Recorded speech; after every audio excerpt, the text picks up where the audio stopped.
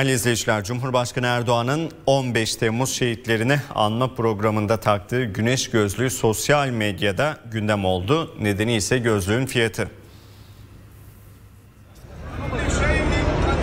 Önce terlikler, şimdi de gözlük. Cumhurbaşkanı Erdoğan bir kez daha taktığı gözlükle gündemde. 15 Temmuz anması için gittiği Saraçhane'de taktığı güneş gözlüğü sosyal medyada çok konuşuldu. Gözlüğün fiyatı dudak uçuklattı.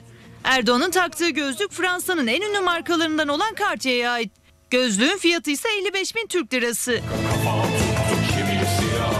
Erdoğan'ın 55 bin liralık gözlüğüne sosyal medya kullanıcıları tepki gösterirken muhalefetten de yorumlar gecikmedi.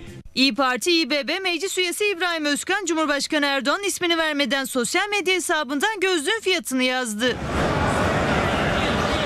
Cumhurbaşkanı Erdoğan'ın daha önce de Suudi Arabistan ziyaretinde giydiği Prada marka terlik dikkat çekmişti. Fiyatı 10.750 lira olan terlik yine sosyal medyada da çok konuşuldu. Cumhurbaşkanı Erdoğan'ın eşi Emine Erdoğan'ın kullandığı çantalarda kamuoyunda günlerce konuşulmuştu. Yine bir Fransız markası olan çantanın fiyatı 70-80 bin dolar arasındaydı.